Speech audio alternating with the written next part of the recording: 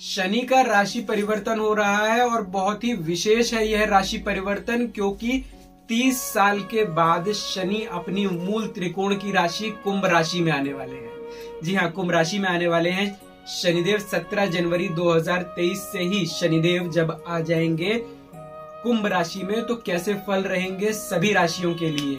जी हाँ यह जानने के लिए है ये छोटा सा वीडियो। इस वीडियो को लाइक कर दे शेयर कर दे सब्सक्राइब करें चैनल भविष्य नक्षत्र को क्योंकि छोटा सा यह वीडियो होने वाला है और इसके अंदर जानकारियाँ बहुत अच्छी अच्छी है। कुंभ राशि वाले लोग जो इस वीडियो को देख रहे हैं सबसे पहले लाइक कर दे कुंभ राशि के लोगों के लिए कैसा रहेगा यह साल 2023, 2024 और 2025 तक भी क्योंकि ढाई साल की साढ़े साथी तो चल ही रही है कुंभ राशि की। साथ ही साथ चल रही है मीन राशि की साढ़े साथी साथ ही साथ चल रही है मकर राशि की भी साढ़े साथी जो कि 2025 में समाप्त हो जाएगी। पर कुंभ राशि की साढ़े साथी चलती रहेगी। तो क्या करना है यह जानने के लिए अभी से लाइक कर दे मकर राशि और मीन राशि के लोग इस वीडियो को। और आइए जानते हैं किन लोगों की आएगी ढैया।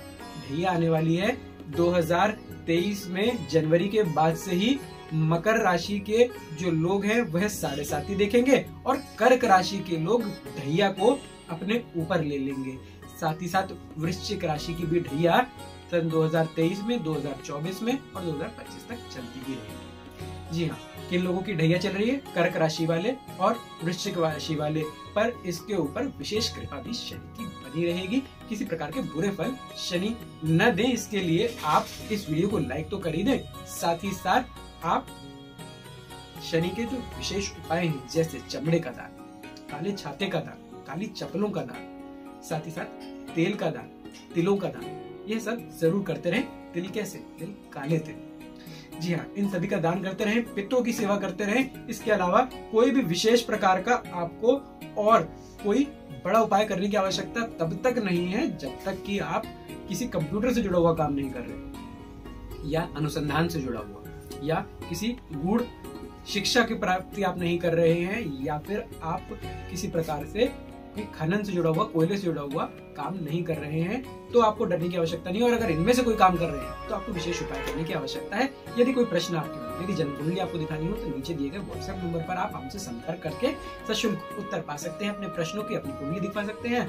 और उपाय जो आपको बताए क्या क्या खास तौर से चमड़े का दान, तेल का दान और तिल का दान, ये अवश्य ही करते रहें। और सावन के महीने में काली छतरी सन 2023 में आप एक बार दान कर ही दें किसी भी गरीब को। या जरूरतमंद को।